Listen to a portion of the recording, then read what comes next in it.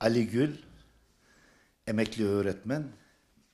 2006 yılında emekli hakkımı kazanarak emekli oldum. Aşağı yukarı 15 yıldır e, memur emeklisi olarak hayatımı sürdürüyorum. Bunu yeterli demem mümkün değil. E, çünkü verilen e, istatistik rakamlar e, gerçeği hiçbir zaman yansıtmadı. Emekli olduğumdan bu tarafa yansımadı ki bu yıl için yansısın. Verilen o rakamlar enflasyonun e, İstatistik Enstitüsü'nün e, açıkladığı rakamların çok üzerinde olduğunu ben markete girdiğimde hissediyorum. Örneğini kısaca e, evimizde günlük kullanmış olduğumuz yağdan düşündüğümde yağ 5 litresini 25-30 liraya alırken şimdi 75 liraya alıyoruz. Yani enflasyon demek ki yağ bazında yüzde 360. Tabii ki bu rakamları devlet istatistik enstitüsü düzgün bir şekilde açıklamıyor. Alınan o veri tabanları e, insanların çok kullandığı materyaller üzerinden hesaplanmıyor.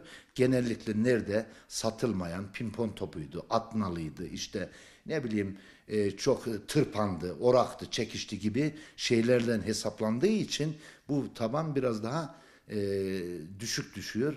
Biz e, bu rakamlara inanmadığımız gibi verilen ücretin çok düşük olduğunu, e, benim emekli maaşımı, emekli olduğum süre içerisinde e, çok geriye savrulduğunu kanaatindeyim.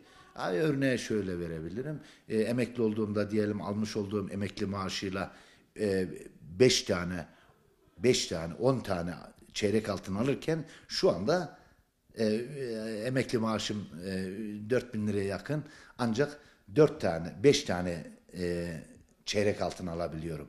Emekli olduğum dönemde 10 tane alırken şu andaki dönemde ise 5 tane alırım. Yani benim emekli maaşım yüzde yüz geri kalmış vaziyette. Ee, ben bunu kabul etmiyoruz. Tüm emekliler olarak Türkiye'deki mikrofon uzattığımız tüm emekliler aynı görüşte olduğu kanaatindeyim. Çünkü yaşayarak bunu damarlarımıza, iliklerimize, kemiklerimize kadar hissettik.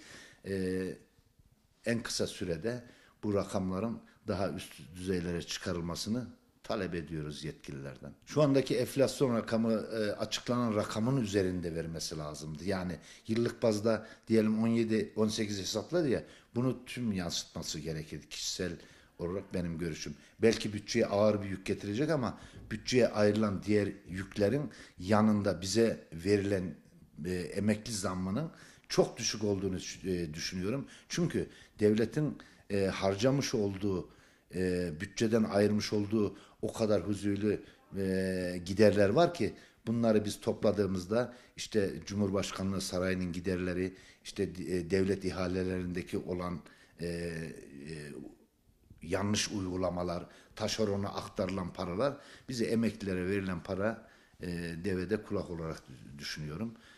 En az, en az, en az o yıllık yüzde üçün dışında yüzde on vermesi gerekirken bunu alamadık. Çok cüzi bir e, artış. Yani kısaca benim maaşıma 300 lira zam geldi. 300 lira zaten vergi dilimine falan girdiğinde bu e, rakam zaten alıp götürüyor. Yüzde beş puan artıyor vergi diliminden dolayı benim maaş şeyim e, devlete verdiğim vergi buradan zaten gidiyor. E, 300 liralık bir rakam e, çok e, cüzi, çok kötü bir rakam olduğunu düşünüyorum. Ee, daha fazla emeklilerin durumu, sosyal durumu gerçekten yürekler acısı. Bunu yaşayarak görüyoruz. Çevremizden görüyoruz. Oturduğumuz insanlarla, konuştuğumuz insanlarla görüyoruz. Ee, çok güç durumda olduklarını biliyoruz. Müzik